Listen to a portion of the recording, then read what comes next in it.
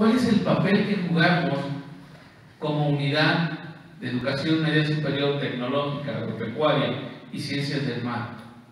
¿Cuál es el compromiso? Es necesario sembrar la semilla de que nuestros jóvenes pongan la mirada en el campo.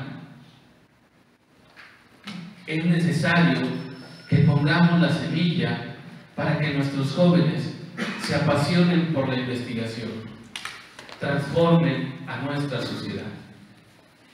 Los jóvenes son el principal objetivo de estos congresos de investigación.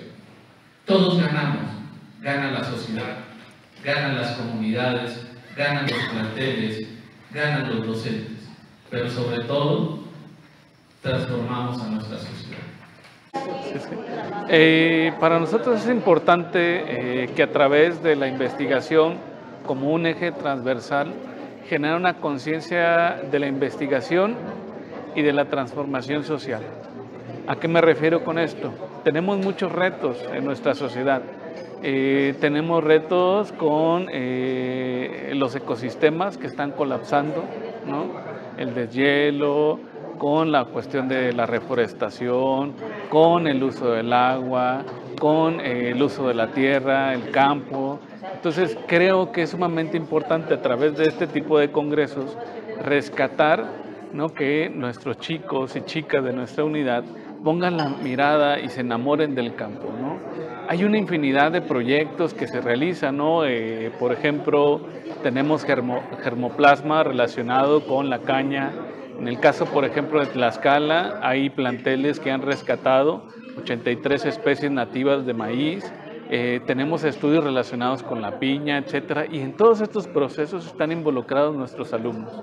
Entonces, esa es la riqueza de que los alumnos, a través de la investigación, puedan poner la mirada ¿no? en el campo. Si no volteamos la mirada hacia el campo, hacia situaciones agroalimentarias, agroecológicas, eh, pues no sabemos dónde vamos a parar. De hecho, eh, esa es la importancia de este Congreso, que nuestros chicos, nuestras chicas, que son el futuro de nuestro país y son también a la vez el presente, puedan poner la mirada, ¿no? puedan eh, enamorarse del campo, ¿no?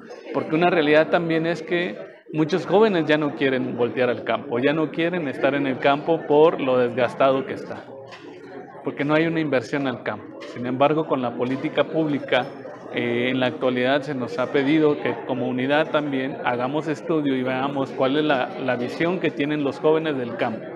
De ahí que entonces, con este tipo de eventos, con este Congreso Regional, eh, ellos pueden ver la aplicación ¿no? de la investigación, pueden ver cómo la investigación se aterriza en, en proyectos en concreto.